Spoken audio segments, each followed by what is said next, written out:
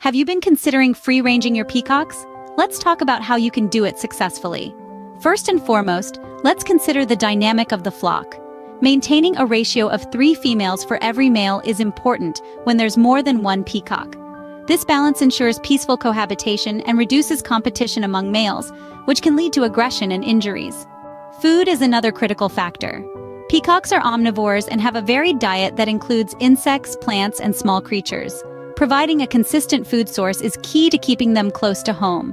Set up feeding stations with a mixture of grains, fruits, vegetables, and commercial all-flock feed of 20% protein content in their own container, do not mix them.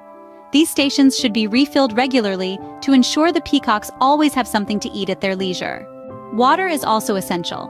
Peacocks need a constant and clean supply of fresh water.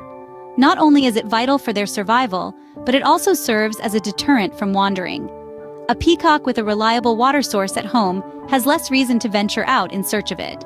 Now, onto a topic that might raise some feathers, wing clipping. Contrary to some beliefs, peacocks do not necessarily fly away from home. In fact, they're more likely to walk or run if they decide to leave. However, they use their flight abilities to escape predators, and clipping their wings leaves them vulnerable. Therefore, it's recommended to never clip a peacock's wings, not even one wing, as it will throw them off kilter and slow them down.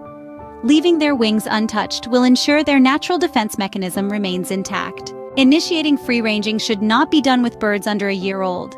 Young peafowl are more susceptible to predators, less familiar with their home territory, and more likely to wander off.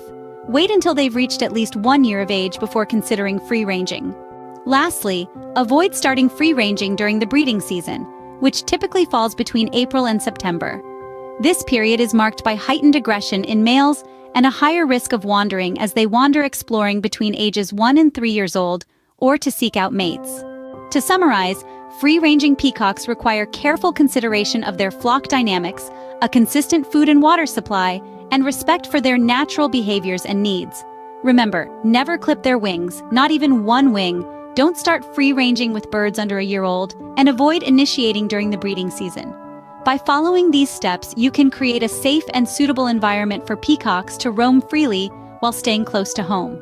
Please like and subscribe for more helpful videos on caring for your majestic beauties.